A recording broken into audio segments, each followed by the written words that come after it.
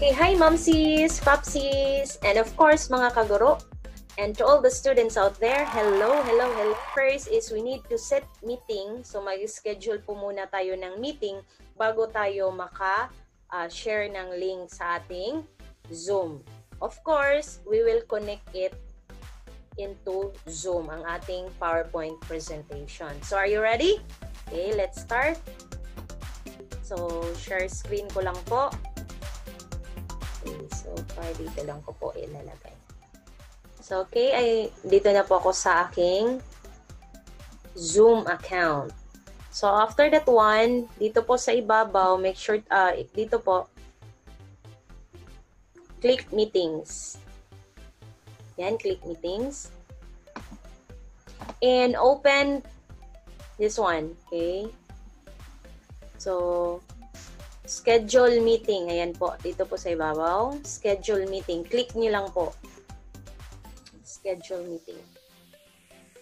And if you can see here, so sa dito po, okay, okay, okay, okay, wait lang you can schedule your meeting. So, first is you put a topic on it. Uh, what's the name of your topic? So, example, uh, video. Video, video tutorial. Okay. In the description, example, webinar. Okay. Then, of course, you set your date and your time. So, assuming I want to have a webinar tomorrow. So, set ko lang po. Tomorrow, 7-14-2020 at exactly 8 a.m.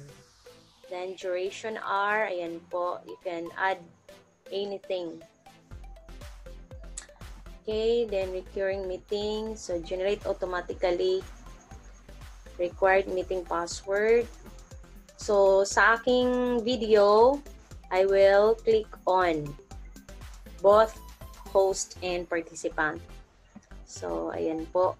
Enable waiting room and record the meeting automatically. So, it is because after you after you stop share, automatic po siya magka-convert into MP4. So, meaning to say, pwede din siyang i-upload into YouTube or into Facebook na gusto nyong i-share din para din sa mga uh, gustong matuto.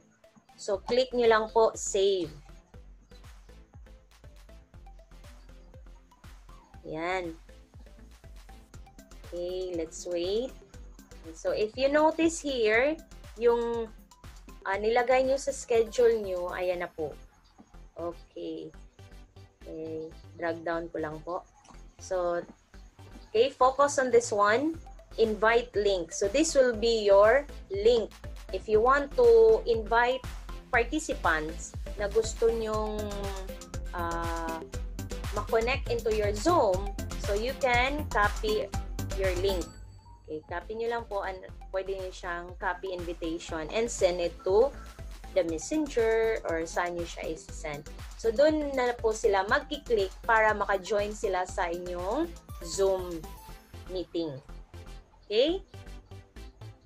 Then after that one, you need to click this one. Start this meeting.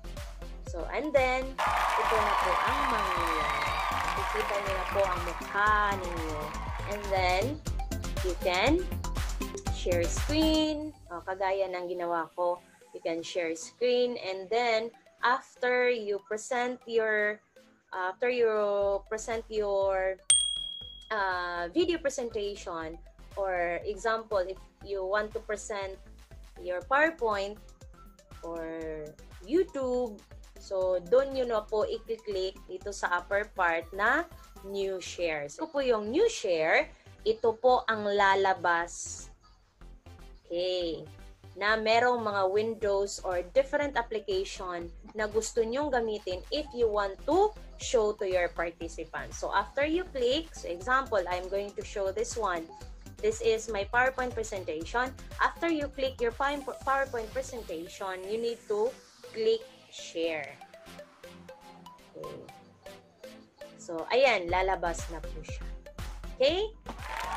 So, I hope may natutunan po. okay. So that's it.